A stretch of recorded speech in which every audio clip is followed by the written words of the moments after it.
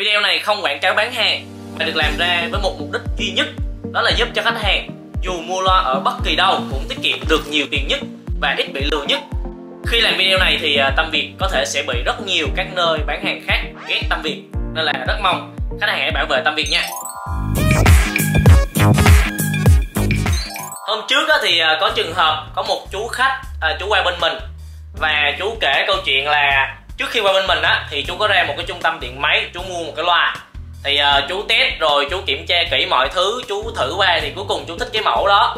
Thì uh, chú mới quyết định là mình thanh toán tiền trước cho bên đó xong rồi về trước và bên đó sẽ giao hàng qua sau. Thì uh, cái lúc mà bên đó giao hàng qua á thì lại không giao đúng cái loa mà chú test. Đó thì chú đã cảm thấy không ổn rồi. Xong rồi uh, chú xài được khoảng 2 ngày á thì nó bị lỗi thì à, chú mới liên hệ bên đó, chú muốn là bên đó đổi cái loa khác cho chú.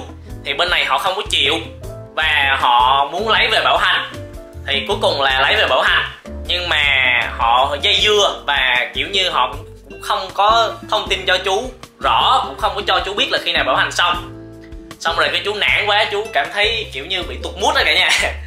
Cái cuối cùng là chú qua bên mình và chú à, mua một cái loa khác thì uh, lý do chú quay bên mình rất là đơn giản là chú đọc ở trên uh, website bên mình thì chú thấy là uh, chỉ cần mua bên mình cứ không thích là sẽ được đổi. Đó cho nên là chú khoái cái đó thì chú qua chú mua. Và cái lúc mà chú uh, mua bên mình đó thì chú rút kinh nghiệm liền. Đó là chú test cái nào ưng là chú lụm đó chú trở về liền luôn. Chú không có cho bên mình giao giống như bên kia nữa. Thực ra những cái câu chuyện như vậy thì nó có nhiều hoặc là những cái trường hợp gần như tương tự thì cũng xảy ra rất là nhiều à, ở trong cuộc sống hàng ngày nha cả nhà. Tuy cho nên là khi mà chúng ta đi mua thì tốt nhất là à, chúng ta test cái nào thấy ok rồi thì chúng ta lụm luôn cái đó đi cho nó chắc ăn cả nhà. À, ngay kể cả đối với trường hợp là những cái loa cùng model đi chăng nữa thì trong một số trường hợp hiếm nó vẫn có những cái loa nó bị lỗi hoặc là nó bị cái gì đó mà à, cái chất âm hoặc là cái chất lượng của nó sẽ không tương đương.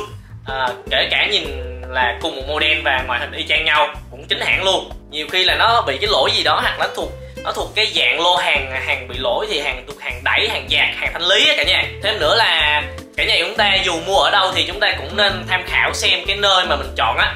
À, họ có cái chế độ à, bao đổi trả cho mình hay không để phòng những cái trường hợp à, bất trắc thì chúng ta có thể được đổi. Cảm ơn cả nhà đã xem video. Nếu có gì sai sót rất mong được chỉ dạy và lượng thứ.